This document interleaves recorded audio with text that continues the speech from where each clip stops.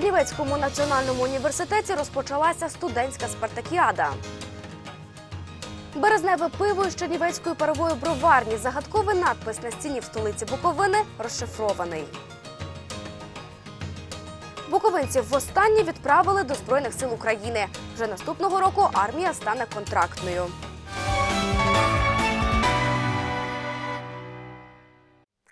Вітання в ефірі п'ятого каналу. Інформаційна передача Місцевий час. Далі про події в Чернівцях та області в студії Вероніка Залевська. З духовим оркестром, концертом та виступами спортсменів проводжали в Кіцмані 28 буковинських хлопців до армії. Владники та військові запевняють, так і має бути, адже відправа ця історична. Це останній призов на строкову службу до збройних сил України. Вже наступного року армія повинна перейти на контрактну основу, тобто стане професійною. Чернівецький обласний збірний пункт в місті Кіцмань цьогоріч змінився в день відправки майбутніх солдатів до невпізнаваності. Перше, що кидається в очі, що місце схоже на вольєра, в якому зазвичай знаходяться батьки новобранців, порожнє. Тут нікого немає. Всі розмістилися на плацу, утворивши живий коридор для виступів. Урочиста частина перетворилася на концерт. Тут і співи, і показові виступи майстрів рукопашного бою та бойового гопака. Навіть духовий оркестр і той затанцював. А все тому кажуть організатори, що проводи ці історичні, бо останні. Можливо, він останній призов на строкову військову службу, тому що армія переходить на професійні рейки. Сьогодні з Кіцмані проводжали 28 новобранців. Всього ж цієї осені з Буковини до армії призвали 276 чоловік. У військовому комісаріаті кажуть, що це найкращі легені, які мають міцне здоров'я та моральний дух. Буковинці будуть розформовані для служби в збройних силах України, внутрішніх військах МВС та для спеціальної державної служби транспорту. Служитимуть у всіх областях країни, окрім Чернівців.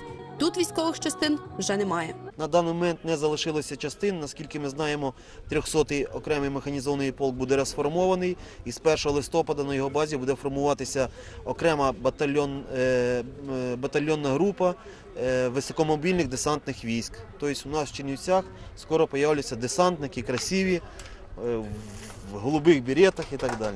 Єдине, що залишилося з традиційних проводів до армії, це сльози батьків, які прощаються зі своїми синами і переживають, що їх чекає в казармах. Я дуже переживаю за те, щоб в армії було все гаразд і старші, як кажуть, колись була дідущина, щоб не було цієї дідущини. Ось за це. А так надіюся, що буде все гаразд. Найвищі керівники держави пообіцяли, що з 2014 року в Україні військовою справою займатимуться лише професійно. Тому наступної осені лави збройних сил ці хлопці покинуть як останні солдати-строковики. Людмила Григорчук, Михайло Антонюк. Місцевий час. Рекламу австрійського періоду знайшли на фасаді будинку в столиці Буковини. Березневе пиво із Чернівецької парової броварні. Так дослівно прикладається німецький надпис на стіні обласного дитячого притулку по вулиці Головній. Про старовинну знахідку ми розповідали в наших попередніх сюжетах. Нині фахівці дослідили надпис і встановили його історичну цінність. Загадковий напис на фасаді нинішнього притулку для дітей виявили під час ремонту будівлі ще минулого тижня. Тоді ж роботи призупинили і вирішили детально його вивчити. До цього процесу долучилися місцеві історики, перекладачі та краєзнавці. надпис німецькою мовою, е, який рекламував березневе пиво чернівецьких броварень. Я дуже сумніваюся, що це була броварня. Тобто я наполягаю на тому, що за е, архітектурою, за формою того будинку, це все це швидше всього був якийсь пивний бар, пивний ресторан. Це була така патріотична пивна. Зі слів історика, тоді через високу пожежну небезпеку варіння пива дозволялося з вересня по березень, а вже березневе пиво мало вистояти щонайменше півроку. Відтак, починаючи з середини 19 століття, у Чернівцях працювало понад 15 різних броварень, які експортували свою продукцію в різні регіони колишньої Австро-Угорщини. Якщо надпис німецькою мовою, то це очевидно ще до початку Першої світової війни. Отже, можемо говорити про початок ХХ століття. То місто аж кишіло. Буквально не було вільного місця на стінах в центрі міста.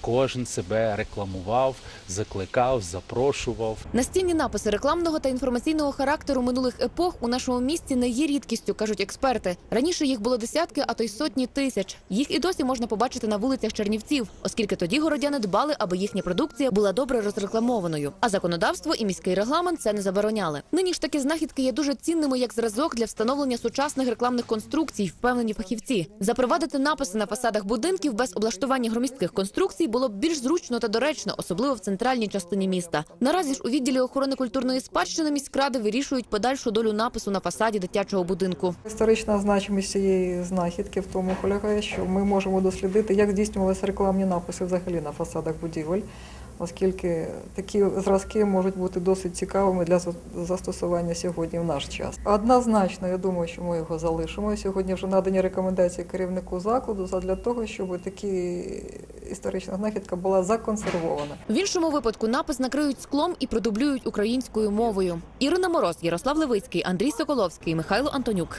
Місцевий час.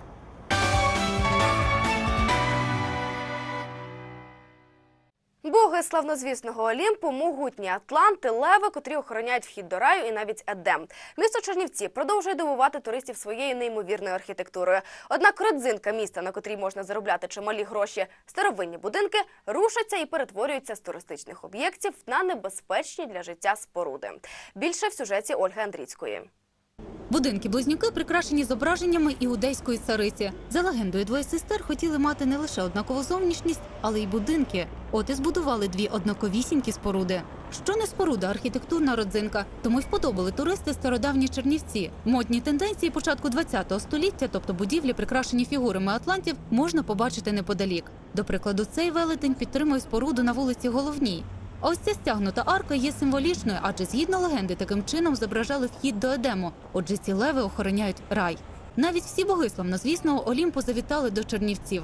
Здавалось би, нічого не бракує столиці Буковини. Однак Чернівці взагалі е, є перлиною, архітектурною перлиною України, і ми навіть суперничаємо у цій справі зі Львовом. Просто хочеться ридати. Настільки він виглядає занедбане. І всі туристи одразу питають, як можна е, так е, ставитися до е, таких архітектурних перлин. А це вже інший шедевр в центрі міста. Він рушиться прямо на очах. Було два випадки, коли ледь не вбило людей. Зверталися вже кругом, але відповіді ніяк не було, тільки ленточки червоні і все. Геть занедбані, а подекуди навіть небезпечні для життя споруда не викликають захоплення ні в туристів, ні в чернівчан. Это очень опасно, конечно. Это ж валится, валится штукатурка, и, и черепица валится, и, и падает на голову людям. Надо делать ремонты. Сюда ничего не вложат, значит ничего это не будет.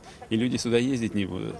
И не будут дивиться на это, на эту всю красоту. Місцеві владники про проблему знають, але традиційно винуватять у всьому фінансування. центральна частина міста і потрібно реставрувати. Але на це, на жаль, потрібні колосальні кошти. В листопаді буде підписана угода з е, Європою, з Європейським Союзом, і ми маємо надію на те, що будуть виділятися кошти, скажімо, і по напрямку е, реставрації і збереження міст. Прикладом тому, як гидке каченя перетворюється в гарного лебедя, є ось цей будинок по вулиці Руській, 66. Страшненький, сіренький. Трьохсотий полк е, використовував цей будинок як склад е, з провізією. Са, цукор, е, борошно. І так що тут ще й боролися з мишами ми. Співвласник споруди Микола розповідає, що коли вирішив її відреставрувати, навіть не підозрював, скільки це вартуватиме сил. Паперова тяганина щодо всіляких дозволів тягнеться ще з 98-го року, і лише останні два реставрація, оскільки чоловікові таки вдалося зібрати всі необхідні документи. Врешті чернівчани на Миколу навіть відзначили грамотою за найкращий фасад будинку у місті Чернівці. Більшість таких ентузіастів болівають за рідне місто зовсім не заради винагороди. Ольга Андрійська, Ярослав Левицький, Михайло Антонюк. Місцевий час. У Чернівцях чергова виставка. Торгово-промислова палата разом з управлінням лісового та мисливського господарства представили одразу дві експозиції: бук дерев 2013 та опалення будівництво.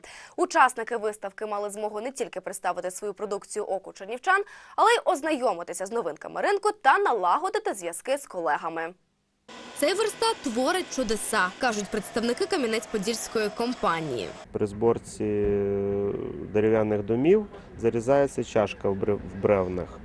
Е, Дана модель дозволяє зробити чашку в таких бревнах протягом двох хвилин. Повна чашка. Далі перероблену деревину варто покрити захисною емаллю. Екологічно чистий і натуральний віск на основі льонової олії вбереже дерево від шкідливих факторів навколишнього середовища та комах. Е, Таким чином дерево воно набирає певної форми, певного відтінку. Також виділяє текстуру дерева. і захищає природнім шляхом від плісняви, гнилі сініви, а також жука, короїда шершня, ну крім того, від вологи. Кінцевому результаті прикрасити будь-яке приміщення можна за допомогою грамотно підібраного освітлення. Новітні світлодіодні світильники відрізняються не тільки своєю якістю, але й економічністю.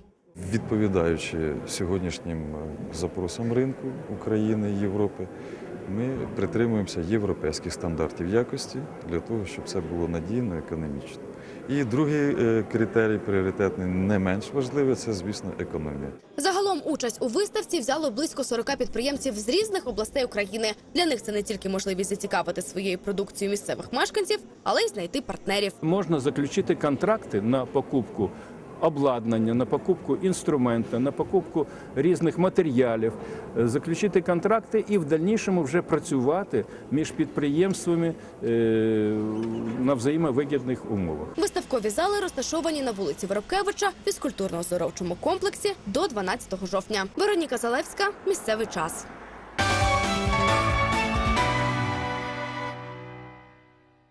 Чернівецькому національному університеті розпочалася студентська спартакіада, марафон, який триватиме до середини травня наступного року. Протягом цього часу кожен факультет і два новостворені інститути представлятимуть свої команди і змагатимуться у 16 видах спорту. Урочисте відкриття спартакіади відбулося на стадіоні Буковина. Тут зібралися студенти, викладачі та вболівальники, оскільки вже цього дня стартуватимуть змагання з легкої атлетики. Крім того, учасників спартакіади привітали керівники університету, а також нагородили грамотами переможців минулих змагань. Наразі це уся інформація. Більше новин шукайте на наших офіційних сторінках в соціальних мережах. А повні випуски новин переглядайте на сайті ACCIN.ua. Будьте з нами і на все добре.